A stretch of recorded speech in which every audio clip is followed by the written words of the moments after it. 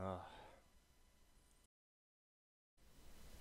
Hello all you crazy peoples, it is Short Guy here and I'm going to show you a little thing that I do in this little world of Minecraft.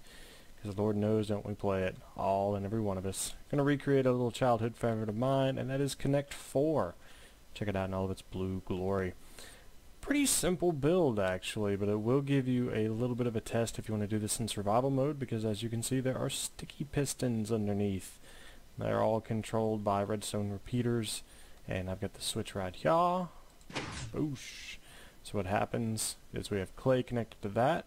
So say you come back up here, do do, roll back up top, grab say beige sand or red sand or green sand or yellow snow, whatever.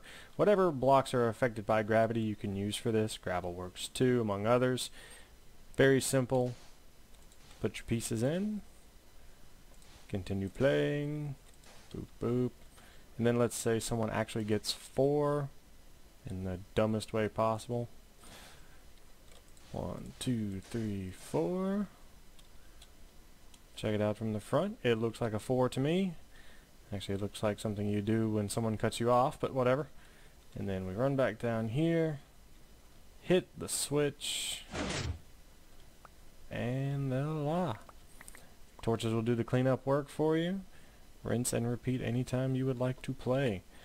Like I said, in creative mode, this is a cinch. All you really need just a sheer front. This is a 6 by 7 by the way. You can do this to whatever degree you would like, but 6 by 7 is technically to scale for a real Connect 4 board. Eh, whatever you want to do, however.